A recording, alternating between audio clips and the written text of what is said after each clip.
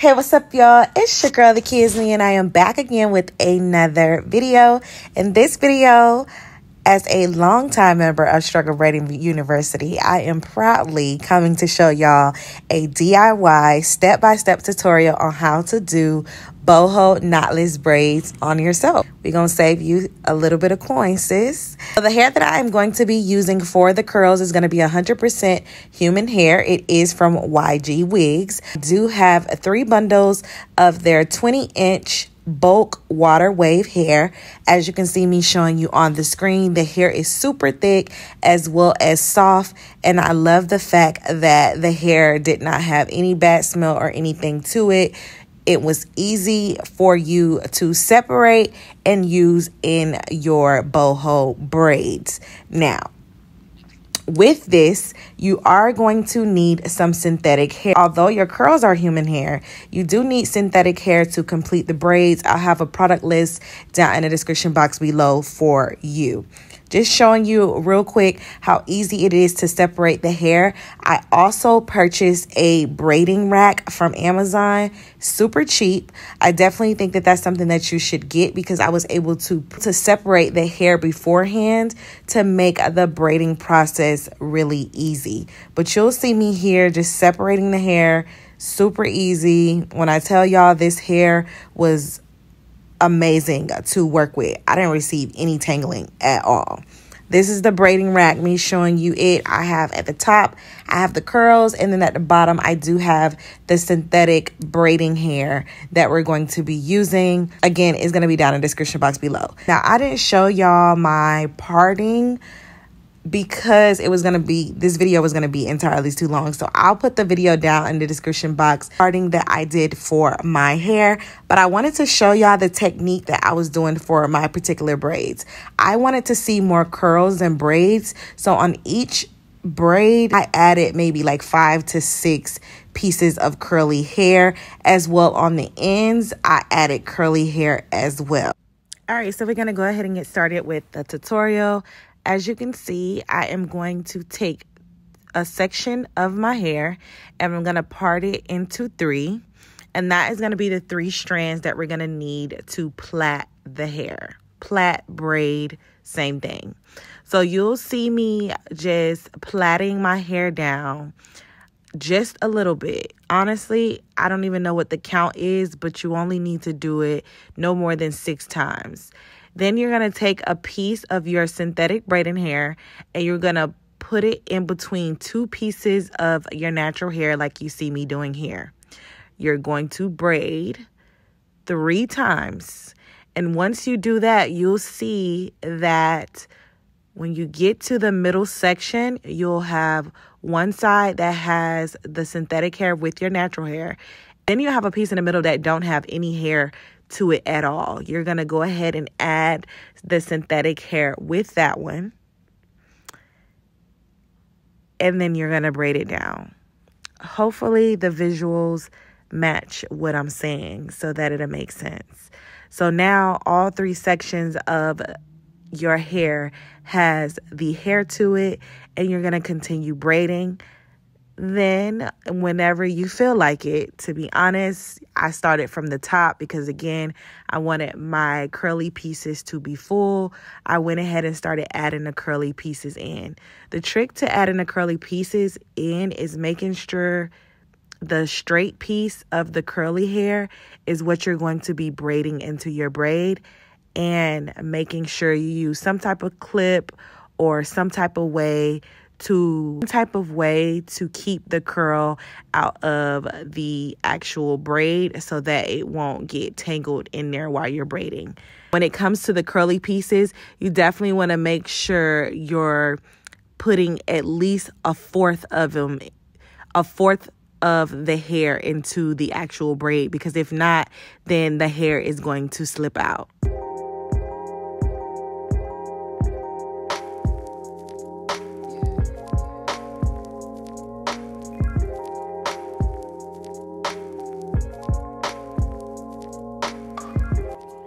And you're just gonna keep braiding it all the way down to the end and adding as many curls as you would like. It's really just up to you and what you wanna do. Again, you only use two pieces of the synthetic hair. You don't need any more of the synthetic hair. And then when I get to the ends, I am going to add a curly piece to the ends. Now, with this curly piece, you're going to actually feed this hair in like you did the synthetic hair, and you're gonna braid it. So, you're gonna actually braid the curls in on the end. You're not gonna leave them hanging like the other curls. You're gonna braid it all the way into the braid, like you see me doing here. And then when we're done, I'm gonna show you how I cut the straight pieces off the straight pieces of the hair. We're going to tie the actual braid at the end and then we're going to glue it with some nail glue so we can make sure that the braid is secure.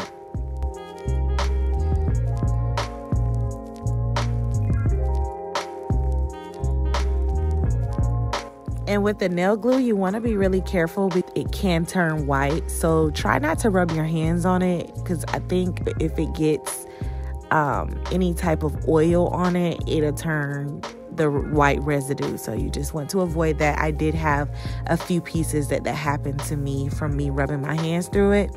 And you'll see here, I'm just going to take the scissors. I'm going to cut the straight pieces off.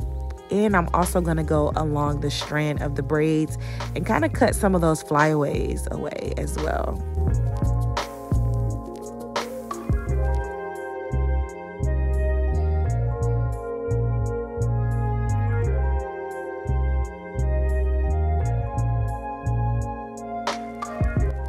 And then there you have it. There is your knotless braids. Again, I'm a product of Struggle Braiding University. I still need more practice, but it's not too bad for the first time. And I saved myself $400 within the process.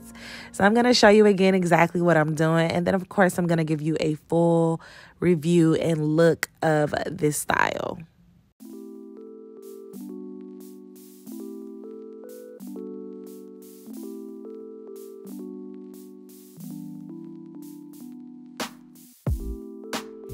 can't have you. I don't want you to have it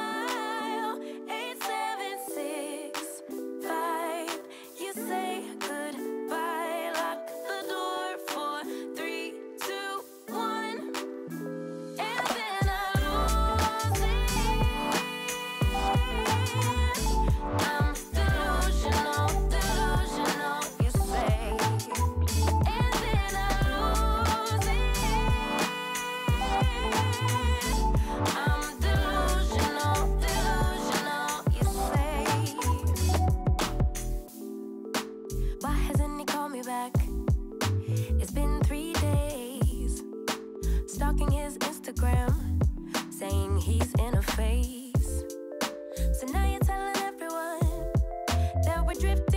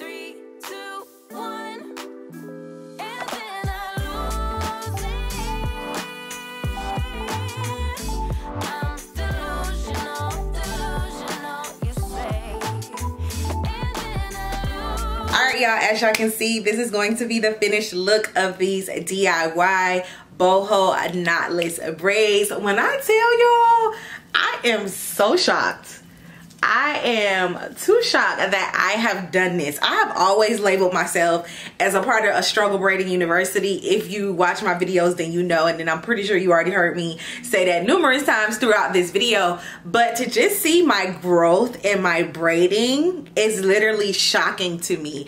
And I think one thing that I love so much about these braids is going to be the curls. Yeah, knotless braids are amazing. They're nice. They're braids. Like, you know, the a black girl in her braids is always going to be a thing. But whoever came out with this boho style to add the curls to the braid, chef kiss. I think it elevates the style times a hundred okay? And these are beautiful curls that I was able to receive from YG wigs. It literally just puts the icing on the cake. So one thing I didn't get on camera is after I finish washing my hair I'm gonna upload and show you what the hair looked like as soon as I braided the last braid. Really beautiful curls looks great. However I wanted to make sure I got the curls super defined and in their natural state. So what I went ahead and did was I jumped in the shower and I washed and conditioned my braids. That's just something that I like to do uh, to really just strip whatever is in the hair from processing uh, with the synthetic hair as well as the human hair. And to me when you wash it's just like you washing your bundles like once you wash your bundles it literally takes your curls to a whole nother level. And that's exactly what it did with this style of course, washing it and conditioning the hair as well. It helps with getting those little straggly pieces that may have may not have been caught in the braid. Like I did have a lot of when I ran my hands through my hair, a lot of the curly pieces coming out. And that has nothing to do with the actual hair in general. It just has everything to do with me gripping the hair. Maybe I didn't grip it in certain spots as much as I should have. So um, I definitely highly, highly suggest that be an actual thing that you do. And I wanted to show y'all on camera that this is me coming on screen with no product in this hair at all.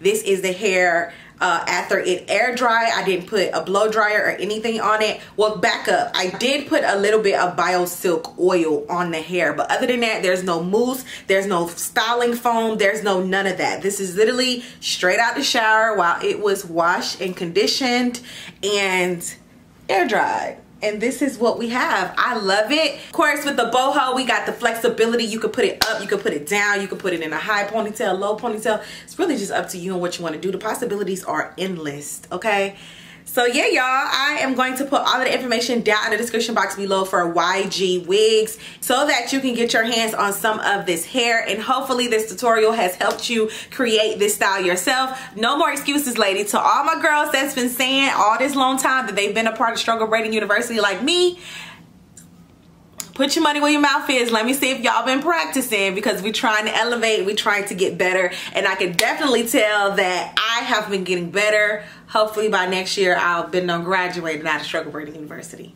I don't know, we gonna see, we gonna see.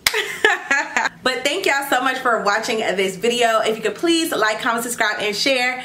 And I look forward to seeing you in my next video.